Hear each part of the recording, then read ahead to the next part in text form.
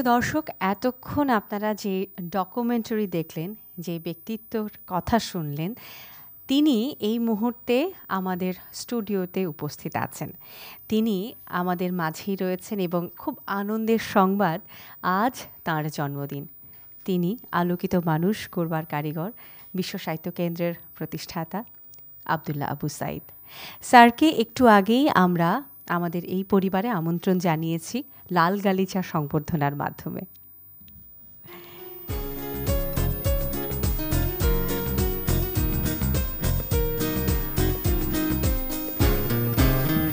শুভ জন্মদিন শুভ জন্মদিন শুভ জন্মদিন।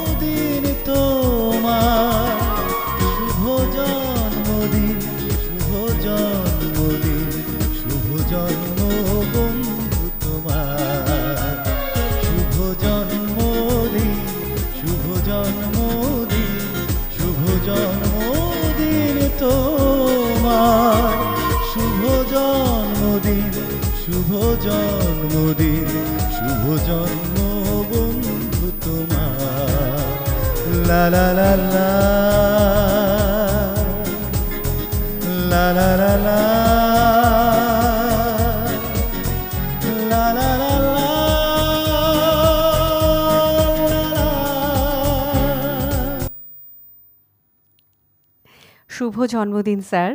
আমাদের সবার পক্ষ থেকে আপনার প্রতি অনেক অনেক শ্রদ্ধা, ভালোবাসা এবং শুভকামনা। আপনি খুব ভালো থাকুন এবং আজকের আমাদের যা আয়োজন রয়েছে সবটাই কিন্তু স্যারকে কেন্দ্র করে তাকে ঘিরেই। আমাদের আজকের এই আয়োজনে মঞ্চে উপস্থিত রয়েছেন মাননীয় সংসদ সদস্য ফাহমি গোলন্দাজ বাবের আজকের আয়োজনে আরও উপস্থিত রয়েছেন আনন্দ আলোর সম্পাদক জনাব রেজানুর রহমান। এবং সেই সঙ্গে আমাদের এই আলোকিত মানুষ করবার কারিগর আমাদের প্রিয় সাইদ স্যার। আমাদের আজকের এই অনুষ্ঠান আনন্দ আলো এবং গোলন্দাজ। গোলন্দাজ আনন্দ আলো সাহিত্য পুরস্কার যা প্রথমবারের মতো পেতে যাচ্ছেন আমাদের প্রিয় শিক্ষক সাইদ স্যার এবং তার জন্মদিনেই আমরা এই পুরস্কার তার হাতে তুলে দেবার প্রয়াস রাখছি। আজকের এই অনুষ্ঠানে পুরো অনুষ্ঠান শুরু করবার আগেই প্রথমেই আলতাফ গোলন্দাজের ওপরে একটি ডকুমেন্টারি তা আমরা দেখে নেব। গোলন্দাজ। এই শব্দটির সাথে ইতিহাসের অনেক বীরত্ব গাথা জড়িয়ে আছে। গোলন্দাজ গৌরবদীপ্ত একটি বংশপদবী। আলতাফ হোসেন গোলন্দাজ এই বংশেরই গর্বিত প্রতিনিধি। উনিশশো সাতচল্লিশ সালের পনেরো আগস্ট গফরগাঁওয়ের নিশুয়ারি গ্রামে জননেতা আলতাফ হোসেন গোলন্দাজের জন্ম হয়। তিন ভাইয়ের মধ্যে সবার বড় আলতাফ হোসেন গোলন্দাজ। স্ত্রীর নাম মাহফুজা গোলন্দাজ। দুই পুত্র ও এক কন্যা সন্তানের জনক তিনি। বড় ছেলে মরহুম ফুয়াদ গোলন্দাজ জগলু, ছোট ছেলের নাম ফাহামি গোলন্দাজ বাবেল। তিনি একজন জনপ্রিয় সাংসদ। এলাকার উন্নয়নে পিতার মতোই আলো ছড়িয়ে চলেছেন ফাহামি গোলন্দাজ বাবেল। একমাত্র মেয়ের নাম আঞ্জুম গোলন্দাজ।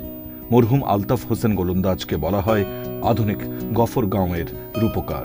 একজন দেশপ্রেমিক রাজনীতিবিদ হিসেবে তার সুনাম শুধু গফরগাঁওয়ে নয়, সারা দেশে ছড়িয়ে আছে। রাজনীতির পাশাপাশি শিক্ষা, সংস্কৃতি, সাহিত্য ও খেলাধুলার প্রতি তার ছিল গভীর আগ্রহ। সেই কীর্তিমান রাজনীতিবিদ, সমাজসেবক, শিক্ষানুরাগী ও সাহিত্যপ্রেমী আলতাফ হোসেন গোলন্দাজ স্মরণে আনন্দ আলো প্রবর্তন করেছে গোলন্দাজ আনন্দ আলো সাহিত্য পুরস্কার।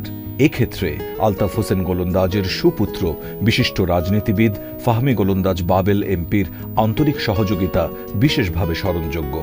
আমরা অত্যন্ত আনন্দের সাথে জানাচ্ছি, প্রথমবারের মতো গোলন্দাজ আনন্দ আলো সাহিত্য পুরস্কার পাচ্ছেন আলোকিত মানুষ গড়ার কারিগর, বিশিষ্ট শিক্ষাবিদ ও সাহিত্যিক সবার প্রিয় শিক্ষক আবদুল্লাহ আবু সাইদ তাঁকে গোলন্দাজ পরিবার ও আনন্দ আলো পরিবারের পক্ষ থেকে অশেষ শ্রদ্ধা ও অভিনন্দন। আমাদের আজকের এই আয়োজনের সূচনায় বক্তব্য রাখবেন আনন্দ আলোর সম্পাদক রেজানুর রহমান।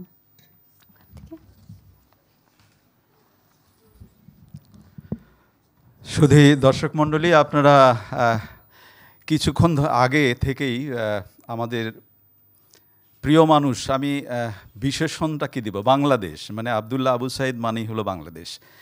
সেই বাংলাদেশের কথা শুনছিলেন। আমরা কোত্থেকে শুরু করব? আমার একটু আবেগ একটু বেশি।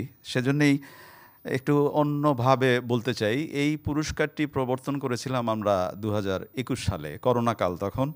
সেই করোনাকালের কারণে আমরা করোনার ভয়াবহতায় পুরস্কারটি দিতে পারিনি এবং আজকেও এই যে আমরা আয়োজনটা করলাম, সেই আয়োজনের মধ্যে আমাদের প্রিয় অভিভাবক আবদুল্লাহ আবু সাইদের সাথে কথা বলবার সময় আমরা কয়েকটি শর্ত মেনে চলবার চেষ্টা করেছি।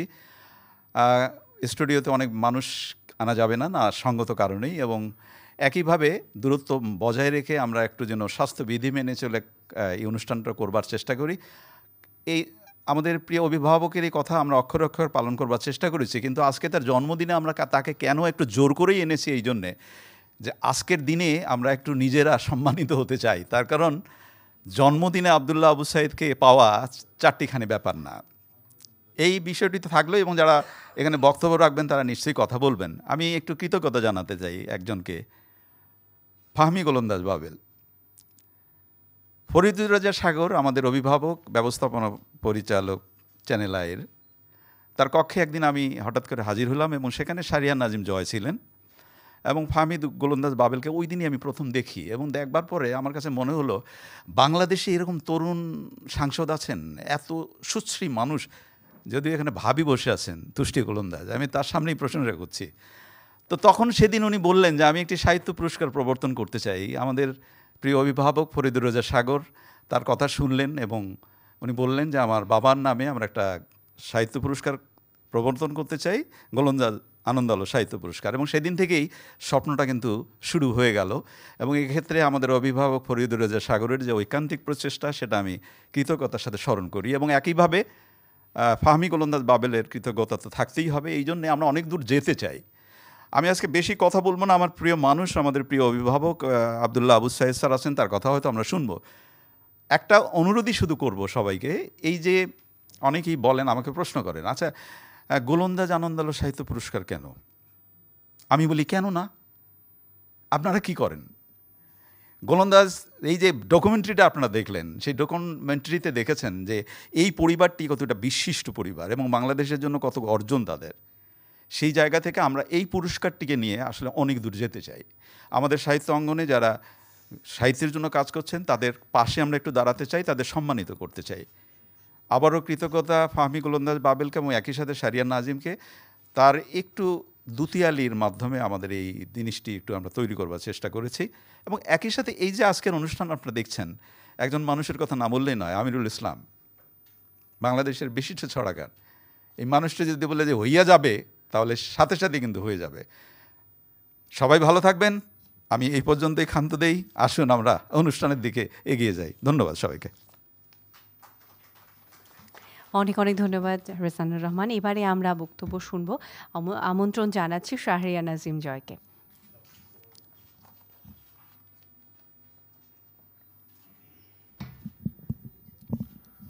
জি, সবাইকে আসসালামু আলাইকুম। আসলে সাইজ স্যার যে মঞ্চে বসা থাকেন, সেই মঞ্চে মাইকে দাঁড়িয়ে কথা বলা এটি অত্যন্ত সৌভাগ্যের ব্যাপার। আমি আমার জীবনদশায় স্যারকে নিয়ে যতটুকু গবেষণা করেছি, দেখেছি যে এই মঞ্চে যেখানে সার বসা থাকে, সেখানে কথা বলার সুযোগ পায় খুব বড় বড় মাপের মানুষ। সেখানে আমার মতো নগণ্য মানুষ, আমি যে সুযোগটা পেয়েছি, সেজন্য আসলে আমি আল্লাহর দরবারে শুক্রিয়া আদায় করছি এবং ধন্যবাদ জানাচ্ছি চ্যানেল আইকে। আজ গোলন্দাজ আনন্দ আলো সাহিত্য পুরস্কার। আপনারা দেখতে পাচ্ছেন যে দুই হাজার একুশ সালে এটি দেবার কথা ছিল। আমাদের প্রচেষ্টা, আমাদের কার্যক্রম কিন্তু তখন থেকেই শুরু হয়েছিল। আমি এর অংশ। এই সাহিত্য পুরস্কার হয়তো আমরা যখন পৃথিবীতে থাকব না, তখনই চলতে থাকবে, কিন্তু আমরা যে প্রবর্তন করেছিলাম বা প্রবর্তনের সাথে জড়িত ছিলাম, সেই জন্য নিজেকে সৌভাগ্যবান মনে করছি। তো আমি একটু লোভ সামলাতে পারছি না, যেহেতু আব্দুল দাবু সাইদ স্যার মঞ্চে আছেন। আমি একটু কথা স্যারকে নিয়ে বলতে চাই। স্যারের স্পিচগুলো শুনতে শুনতে ঘুমাই, স্যারের স্পিচগুলো শুনতে শুনতে ঘুম থেকে জাগি। স্যার বলেছিলেন, স্যারকে বলেছিল মজিদের শ্বশুর। আসলে আমরা যারা অভিনয় করি, উপস্থাপনা করি বা আমরা যারা সেলিব্রিটি আমরা সবাই কিন্তু একসময় মজিদের শ্বশুর হয়ে যাই। স্যার কাল উত্তীর্ণ একজন মানুষ। মজিদের শ্বশুর থেকে জীবদ্দশাই উনি কালকে উত্তীর্ণ করে একজন জীবন্ত কিংবদন্তিতে পরিণত হয়েছেন। স্যারের কথা বলার ধরন, স্যারের জীবন আদর্শ আমাদের পাশে একজন আবদুল্লা আবু সাইদ স্যার আছে বাংলাদেশে। আসলে এর চেয়ে আনন্দ, এর চেয়ে গৌরব আর কোনো কিছুতে লাগে না। যেমন আমি যদি ব্যক্তিগতভাবে আমার অনুভূতির কথা বলি, যখন একদম টিন এজার ছিলাম, তখন মৌসুমীকে খুব ভালো লাগতো, নায়িকা মৌসুমীকে। মাধুরী দীক্ষিতকে খুব ভালো লাগতো। এরপর নায়ক যখন হব, তখন শাহরুখ খানকে ভালো লাগতো। এরপর ডিরেক্টর যখন হব, তখন রামগোপাল বর্মাকে খুব ভালো লাগতো। এইভাবে এক এক সময় এক একজনকে ভালো লাগতো আর ভালো লাগার ঘোর কেটে যেত। বয়স যত বাড়ছে, জ্ঞান যত অর্জন করছি, তিনজন মানুষের প্রতি মুগ্ধতা এবং ভালো লাগা প্রতিদিন বাড়ছে এবং সেটা যেন আর শেষ হবার নয়। সেই তিনজন মানুষ, একজন জাতির জনক বঙ্গবন্ধু শেখ মুজিবুর রহমান, একজন আমাদের স্যার আবদুল্লাহ আবু সাইদ স্যার, আরেকজন আমাদের গুরু ফরিদুর রেজা সাগর স্যার। এই মুগ্ধতা নিয়ে আমৃত্যু বেঁচে থাকতে চাই, এই মুগ্ধতা নিয়ে মৃত্যুর বুকে হেলে পড়তে চাই। ধন্যবাদ। বাবেল ভাই, আপনি একজন সাংসদ এবং সাংসদই শুধু নয়, আপনি একজন অনেক বড় মনের মানুষ। আপনি সবসময় আমাদের পাশে যখন যা বলেছি, যেভাবে চেয়েছি আপনাকে, সবসময় আপনাকে পেয়েছি। এমন উদার, এমন ভালো একজন মানুষ আমাদের দেশের সংসদ, তার এলাকায় সে আমাদের জন্যই এত ভালো, তাহলে তার এলাকায় সে কত ভালো? আর স্যারের কথা দিয়ে শেষ করি, সে আসলে ভালো কি না তা উত্তর দিতে পারবেন ভাবি। কারণ যে স্ত্রী কাছে ভালো, সে সবার কাছে ভালো। কাজেই শেষ ভালো, বিচার ভাবির হাতে। ধন্যবাদ। ভাবি আলহামদুলিল্লাহ বলেছে থ্যাংক ইউ ভেরি মাচ অনেক অনেক ধন্যবাদ। এবারে বক্তব্যের জন্য অনুরোধ জানাব শিশু সাহিত্যিক আমিরুল ইসলামকে। আমিরুল ইসলাম।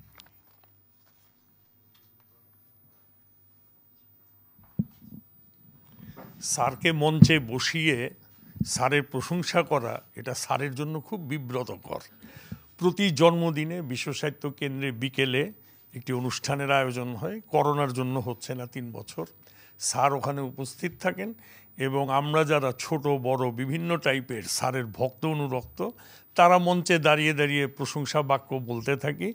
স্যার যখন বক্তৃতা দিতে দাঁড়ান, তখন সবার বক্তব্যকে নস্বাত করে বলেন যে, আমি খুবই একটা সামান্য, সাধারণ মানুষ। সবার ভালোবাসা নিয়ে বেঁচে থাকতে চাই।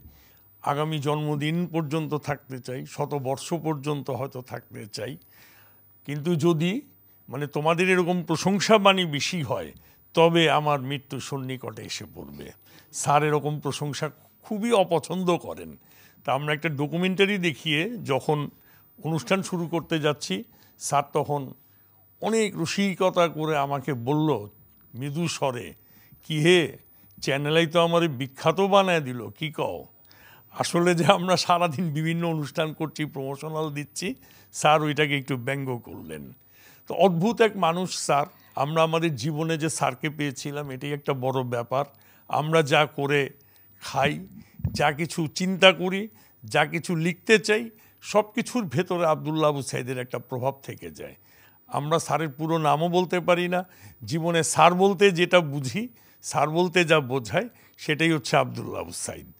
তা আজকে গোলন্দাজ আনন্দ আলো পুরস্কারটা যখন প্রচলন হবে প্রথম তা আমাদের আমরা যখন বসে সব মিটিং করছিলাম, আমি একবারকে বলেছি, সাইজ স্যার হোক শুরুতে, তাহলে এটা ভালো হবে।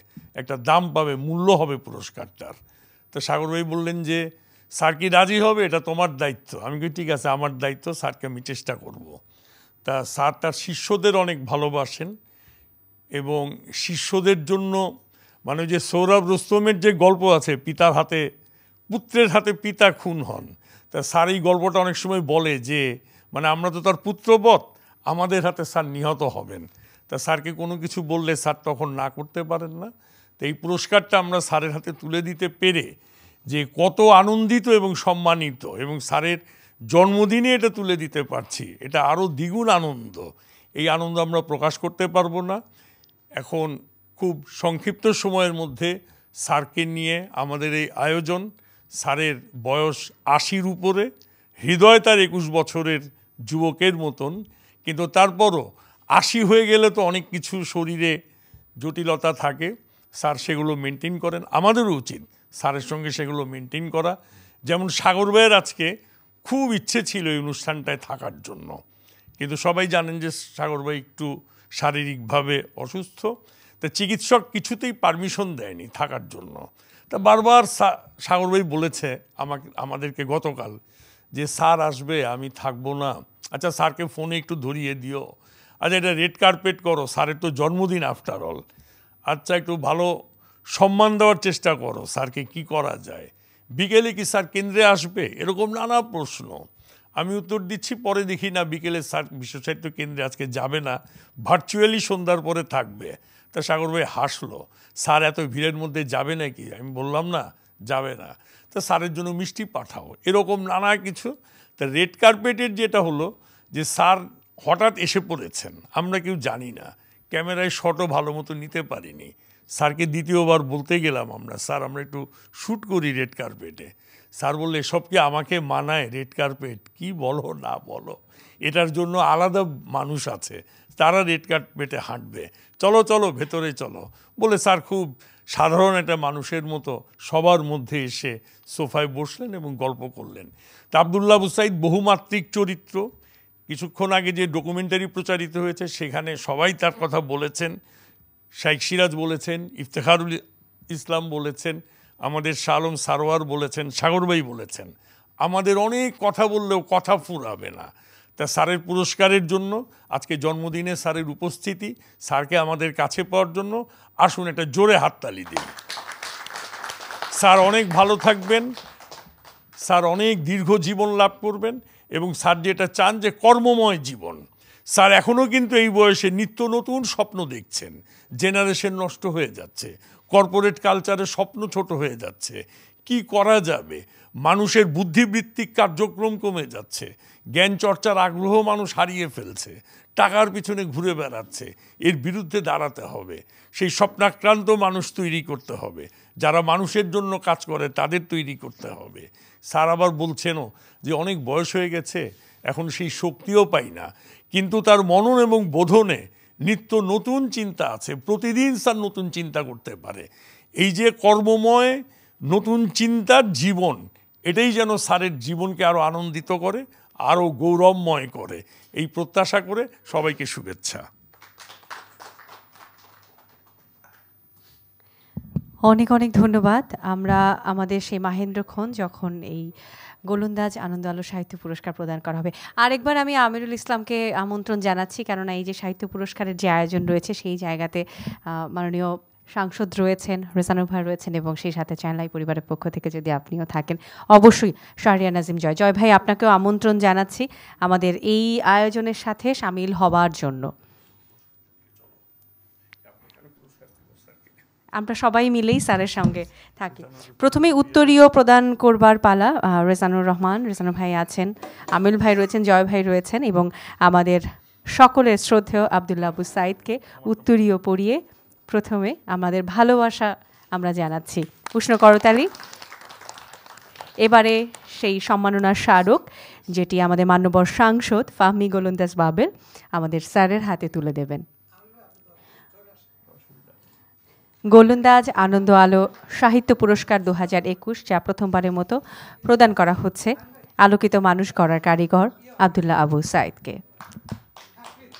স্যারকে আমরা আবারও আমাদের সবার পক্ষ থেকে জন্মদিনের অনেক অনেক শুভেচ্ছা এবং শুভকামনা জানাচ্ছি এবং সেই সাথে পুরস্কারের একটি অর্থমূল্য রয়েছে, যে অর্থমূল্যটি আমরা আমাদের আমাদের মান্যবর সাংসদ তার কাছে পৌঁছে দিচ্ছি। স্যারের হাতে তুলে দেবার জন্য।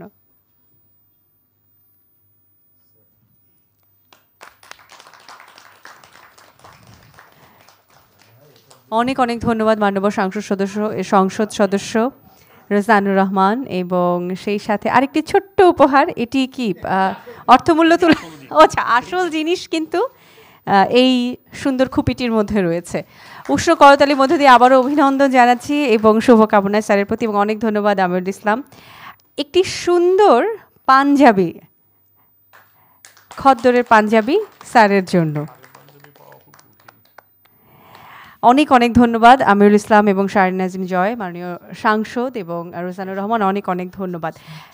আমরা এবারে আমাদের মান্যবর সাংসদ ফাহমি গোলন্দাজ পাবেল তার কাছ থেকে বক্তব্য শুনব। সামনে মাইক্রোফোন রাখা আছে।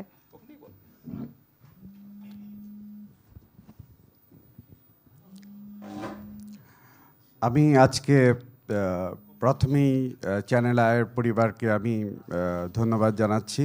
আমি ধন্যবাদ জানাচ্ছি আনন্দ আলো সাহিত্য পুরস্কার, আমাদের এই আয়োজন যারা করেছেন আমাদের আনন্দ আলো পরিবার।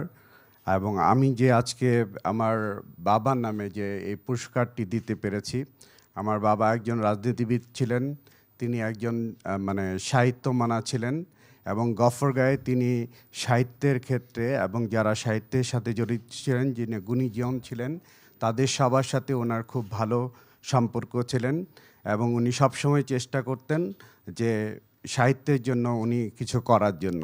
তো তার সন্তান হিসেবে আজকে আনন্দ আলোর সাহিত্য পুরস্কারের যে আয়োজনের যে সুযোগ আজকে আপনারা করে দিয়েছেন সেজন্য আমি নিজেকে ধন্য মনে করছি। আর স্যারের কথা কি বলব? স্যার তো স্যারই আমাদের সকলে স্যার, আমাদের মুরব্বী। স্যার, আপনি যে আজকে এই অনুষ্ঠানে অংশগ্রহণ করেছেন এবং এই পুরস্কার গ্রহণ করেছেন সেজন্য আমি আমার পরিবারের পক্ষ থেকে আমি আপনার কাছে চিরকৃতজ্ঞ, চিরঋণী, স্যার। আর আমি আনন্দ আলো সম্পাদক মণ্ডলীর যে সভাপতি আছে, আমাদের ভাই ফরিদুল রেজা ভাই হ্যাঁ তো আমি ওনাকে ধন্যবাদ জানাচ্ছি। আর সর্বোপরি আমি আসলেই খুশি এবং আনন্দিত যে আমি এই অনুষ্ঠানে থেকে এই কাজটি করতে পেরেছি এবং ভবিষ্যতে আমরা যেন আরও অনেক সুন্দরভাবে করতে পারি সেই চেষ্টা করব। আর স্যারের কাছে কৃতজ্ঞ। ধন্যবাদ। অনেক অনেক ধন্যবাদ মাননীয় সাংসদ।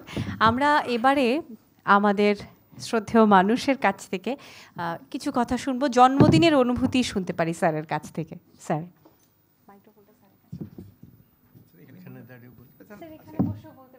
আপনি যদি চান এখানে বসেই আপনি বলেন। আমরা সবাই শুনি স্যার। তোমরা যদি আমাকে দাঁড়ানোর অযোগ্য বলে মনে করে থাকো। স্যার আপনাকে আমন্ত্রণ জানাচ্ছি এই জায়গাতে। হ্যাঁ আমি তোমার ওখানেই দাঁড়াতে চাই। সরানো যাবে। এবং এসব তরুণীদের পাশে দাঁড়াতে চাই এটাতে কাছে হবে স্যার আমি এটা আপনার কাছে এটা আচ্ছা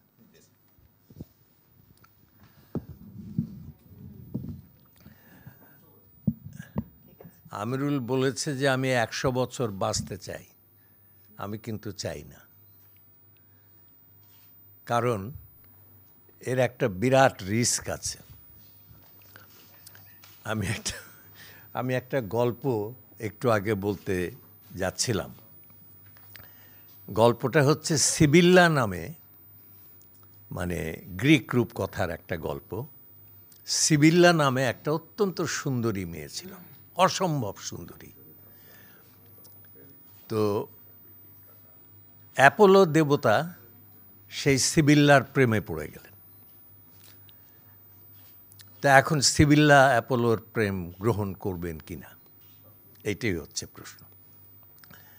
তখন সিবিল্লা বললেন যে, আমি এই প্রেম গ্রহণ করতে পারি এক শর্তে। কি শর্ত? ওই যে বিশাল বালুর স্তূপ রয়েছে। ওই স্তূপে যত বালু আছে, আমি যেন ততদিন বাঁচি।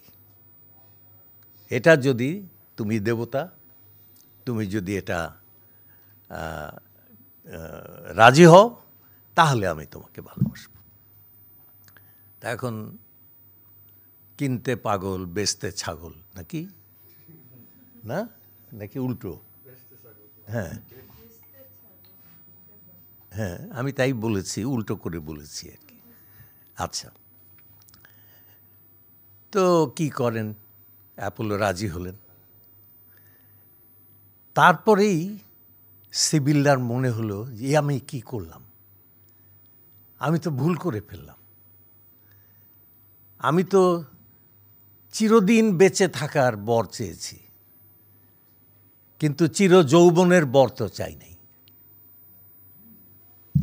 সুতরাং কি হতে লাগল? সিবিল্লা,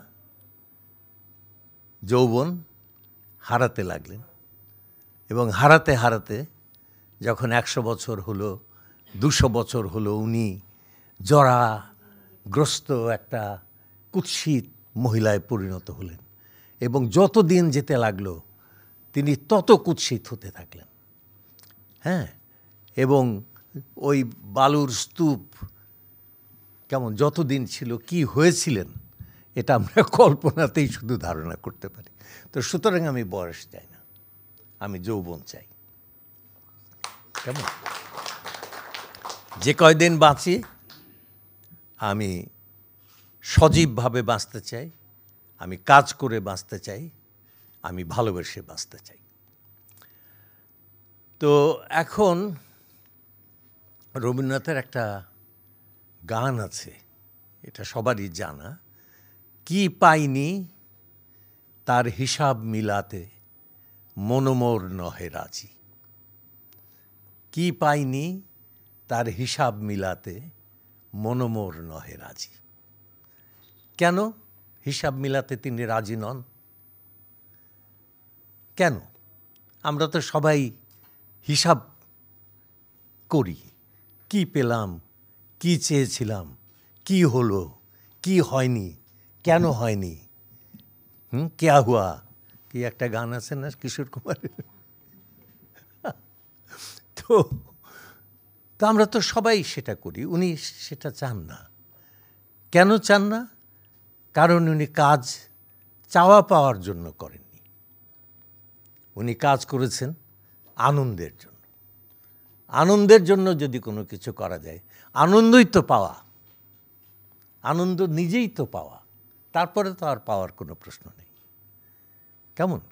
এখন যারা আনন্দের জন্য কাজ করে না, তাদের কিন্তু খুবই অসুবিধা হয়ে যায়। অনেক সময়ই দেখা যায় এটা। কীরকম অসুবিধা হয়? ধরা যাক ওয়ার্ল্ড কাপ কেমন? ওয়ার্ল্ড কাপে অবিশ্বাস্য শোনাতে পারে, কিন্তু কোনো দিন সত্যও হয়ে যেতে পারে। ওয়ার্ল্ড কাপে ধরা যাক, বাংলাদেশ ফাইনালে উঠে গেছে। বাংলাদেশ একদিকে, ব্রাজিল একদিকে। খেলা শুরু হতে যাচ্ছে, সবাই উত্তেজিত। কেমন? সবাই মুখরিত। কেমন? কি হয়? কে যেতে ব্রাজিল যেতে না বাংলাদেশ যেতে এটা নিয়ে মানে উদ্দীপনার শেষ নেই উন্মাদনার শেষ নেই। দুই পক্ষেই। সমস্ত বাংলাদেশের টিভি অন হয়ে আছে, সমস্ত ব্রাজিলের টিভি অন হয়ে আছে। বাংলাদেশ যদি যেতে তো বাংলাদেশ আকাশে, আর যদি ব্রাজিল হারে, তাহলে ব্রাজিল একদম কবরের মধ্যে। এরকম একটা অবস্থা। তো ধরা যাক, খেলা চলছে খেলা চলছে খেলা চলছে। একেবারে খেলার শেষ মুহূর্ত আর তিন মিনিট আছে। এমন সময় বাংলাদেশের প্লেয়াররা কি করে নিজেদের মধ্যে বল কাটিয়ে টাটিয়ে একদম সেন্টার ফরওয়ার্ড একদম গোলকিপারের সামনে। এখন আস্তে করে ছুঁয়ে দিলেই গোল। তখন তিনি কি করবেন? তিনি কি আস্তে করে ছুঁয়ে দেবেন? নাকি সেই সময় যদি তার হঠাৎ যদি মনে হয় যে এই যে গোল দেব, কালকে সারা বাংলাদেশে, সারা পৃথিবীর কাগজে, সব জায়গায় আমার নাম নিয়ে, আমার নাম উঠবে, আমার ছবি ছাপা হবে, সমস্ত টেলিভিশন মুখরিত হয়ে উঠবে, সমস্ত বাঙালি পাগল হয়ে যাবে। এই কথা তার যদি মনে আসে, সে কি ওই গোলটা দিতে পারবে? মনে আছে না? আলিবাবা গল্পে চিচিম ফাঁক বললে, চিচিম ফাঁক বললে ঢোকা যেত। আর চিচিম বন্ধ হলে ওটা দরজাটা বন্ধ হয়ে যাবে। আর চিচিম ফাঁক বললে দরজাটা খুলে যাবে। তো এখন আলিবাবা তো সংযত মানুষ, কেমন লোভী না। উনি যা পেয়েছেন সেটা নিয়ে চলে এসছেন। ভাইকে শিখিয়ে দিয়েছেন যে চিচিম ফাঁক বলবি, তারপরে সব মণিমুক্তা, হীরা, জহরত সব নিয়ে ফেরার সময় চিচিম বন্ধ বলবি, তা না হলে পরে কিন্তু ই হবে না। সে গেছে চিচিম ফাঁক বলেছে, ঢুকেছে, সমস্ত মণি মুক- মুক্তা, হীরা, জহরত সে একখানে করেছে। কিন্তু তারপরে লোভে উন্মাদ হয়ে সে চিচিম বন্ধ ভুলে গেছে। কেমন? তো মানুষ যদি লোভে উন্মাদ হয়, কেমন? তখন সে ওই আনন্দটা হারিয়ে ফেলে। আর আনন্দটা হারিয়ে ফেললে পরে মানুষের কাজের মধ্যে শুধু শাস্তি, শুধু যন্ত্রণা, শুধু নিরাপত্তার অভাব, শুধু কষ্ট, কেমন? এই অবস্থাটা তৈরি হয়। তো আমি মনে করি যে মানুষের খ্যাতির জন্য কাজ করা উচিত না। মানুষের আনন্দের জন্য কাজ করা উচিত। কেমন? এই পৃথিবীতে যত খ্যাতিমানি আমি হই আমি তো এই পৃথিবীতে থাকব না। তাই না? আমরা সবাই যারা এখানে বসে আছি, আর সত্তর বছরের মধ্যে এখানে কেউ থাকব না এই পৃথিবীতে। তাহলে অযথা লোভ করে লাভটা কি? অযথা বেশি চেয়ে লাভটা কি? অযথা পাগল হয়ে লাভটা কি? কেমন? ঠিক বলটা ওই মুহূর্তে যেরকম আস্তে করে দিয়ে দিলে কি করে মানে আমি খেলোয়াড় হিসেবে বড় হতে চাই না খ্যাতিমান হিসেবে বড় হতে চাই? আমি খেলোয়াড় হিসেবে বড় হতে চাই। তখন আস্তে করে বলটা দিয়ে দিলেই হয়ে যেত। কিন্তু আমরা সেটাকে হারিয়ে ফেললাম। কেমন? তো ওইখানে আমি জীবনে যেতে চাইনি। আমি সবার সঙ্গে বন্ধু বান্ধব হ্যাঁ এরা সব শিষ্যেরাও বন্ধু হয়ে গেছে এখন। সবাই। কেমন? এই জীবনের মধ্যে কেটে গেল সময়। তো তবুও এইসব কিছু খ্যাতি ঠ্যাতি হয় অনেক সময়, কিছু কিছু। কারণ মানুষ তো, মানুষের একটা ব্যাপার হচ্ছে যে মানুষ কিন্তু একা বাঁচতে পারে না। কেমন? অন্য সব প্রাণীর কোনো না কোনো আত্মরক্ষামূলক অস্ত্র আছে গার, শরীরের মধ্যে। কারও বিরাট দাঁত আছে এরকম। কেমন? কারও লেজে কাটা আছে বড় বড়। কারও নখর আছে। কারও কেউ রং ছিটিয়ে দিতে পারে। এক একজনের এক এক অস্ত্র আছে। মানুষের কিন্তু সেই অস্ত্র নাই। তো কিছুই নাই। দুটো হাত ছাড়া, খোলা হাত ছাড়া মানুষের কিছুই নেই। তো এই দুটো খোলা হাত দিয়ে মানুষ পৃথিবীর শ্রেষ্ঠ প্রাণী হলো কি করে? কি দিয়ে? কারণ মানুষ মানুষের দিকে এগিয়ে এসেছে। মানুষ মানুষকে ভালোবেসেছে। তাই না? মানুষ মানুষকে সহযোগিতা করেছে, সাহায্য করেছে। পরস্পরকে ভালোবাসতে বাসতে মানুষ সঙ্গবদ্ধ হয়েছে। হয়ে আজকে পৃথিবীর শ্রেষ্ঠ প্রাণীতে পরিণত হয়েছে। তো এখন আমি আর কথা বেশি, একটু আমি একটু অসুস্থ আছি, খুবই খুবই অসুস্থ। তো ওরা বলাতে আমি নিরুপায় হয়ে চলে এসেছি। তো এখন কে, কোথায় যেন হ্যাঁ ও হ্যাঁ তো এখন এই যে মানুষ মানুষের পাশে এসে দাঁড়ায়, এটা একটা বিরাট ব্যাপার। সেই জন্যই মানুষ এত বড়, তাই না?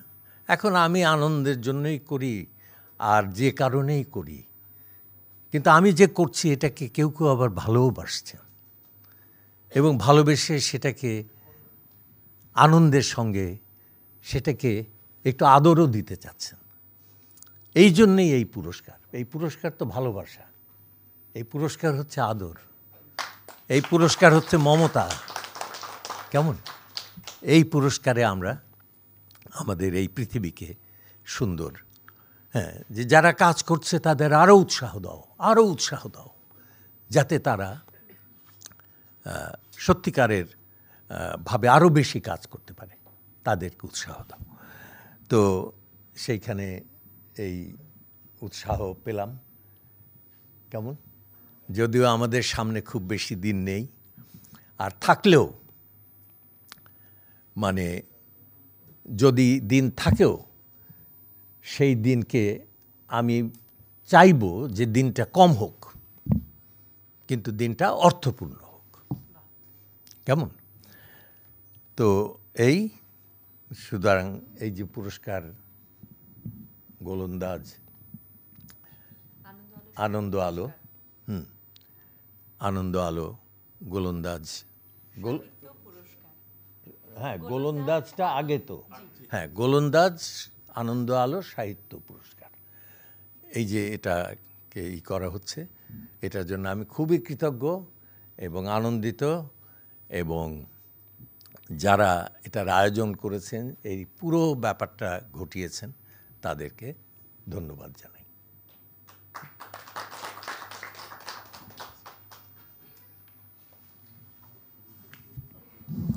যখন আমরা আবদুল্লা আবু সাইদ স্যারকে আমাদের মাঝে পাই, তখন আসলে এইটুকুতেই শেষ করতে ইচ্ছে করে না। আরও অনেক কিছু স্যারের কাছ থেকে শুনবার আছে, স্যারকে অনেক কিছু বলবার আছে। কিন্তু আজকের যে আয়োজন আপনারা দেখতে পাচ্ছেন, সেই আয়োজনের যে সময় নির্ধারণ, সেই সময়ের সেগুলো তো আমরা বাধা। তাই জন্য আমাদের আয়োজন থেকে আমাদের বিদায় নিতে হচ্ছে। কিন্তু আয়োজন পরবর্তীতে আমাদের অনেক কিছু রয়ে গেছে, যে, যেইগুলো আমরা আসলে আজকে স্যারের কাছ থেকে পূরণ করব। স্যার, আপনাকে আবারও অনেক অনেক ধন্যবাদ এবং চ্যানেলাই পরিবার, আমরা এখানে যারা রয়েছি, সকলের পক্ষ থেকে জন্মদিনের অনেক অনেক শুভেচ্ছা। স্যার, আপনি খুব ভালো থাকুন। আপনি সুস্থ থাকুন দীর্ঘায়ু হন। প্রিয় দর্শক, আমরা আজকের মতো আয়োজন থেকেও বিদায় নিচ্ছি। আপনারা যে যেখানে আছেন, খুব ভালো থাকবেন, আমাদের সাথে থাকবেন।